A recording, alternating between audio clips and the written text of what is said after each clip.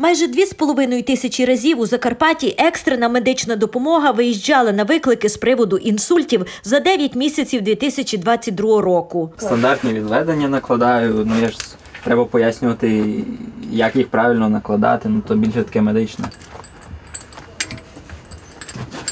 Скільки часу займає підготовка?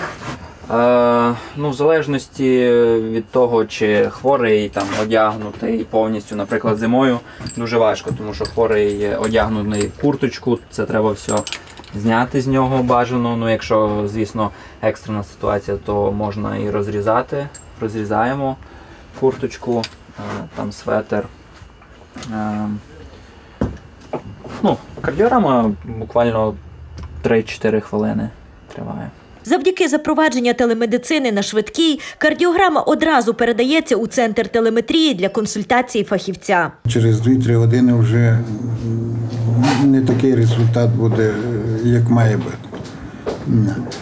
Це, це для скорочення і, і, і орієнтування бригад, куди хворого вести, в яку лікарню, і щоб на- на- надати спеціалізовану медичну допомогу кардіологічним хворим. Інсульт виникає через раптове припинення надходження крові у клітини мозку, через що вони починають відмирати. Лікарі кажуть, протягом перших трьох годин можна повністю усунути наслідки інсульту. Тут важливо вміти діагностувати напад. Порушення мови, слабість е, в певній частині тіла, в якійсь половині е, тіла, тобто це рука, нога, е, це є виковзання кутика рота, тобто якісь е, явища по типу оніміння пальців, е, передпліччя чи стопи.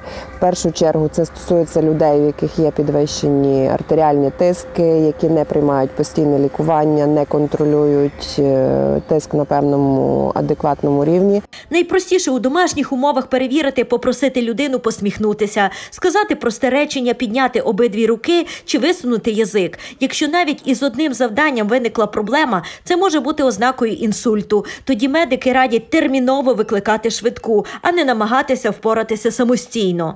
Не чекаєте, не телефонуєте сімейному доктору, не радитеся з сусідами. Викликаєте в першу чергу бригаду 103, щоб був цей запас часу, за який вас швиденько доставлять до е, певної профільної лікарні по потребі, якщо в залежності від того, яка причина і який інсульт.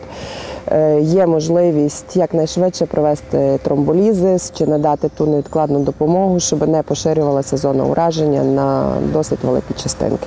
А для профілактики інсульту лікарі наполягають перевіряти регулярно серцевий ритм та артеріальний тиск, адже половина з них трапляється через високий тиск, а також відмова від шкідливих звичок, зосередитись на спорті та харчуванні, бо неправильний раціон та відсутність фізичних вправ можуть призвести до ожиріння, а це вже підвищує ризик до майже 65%.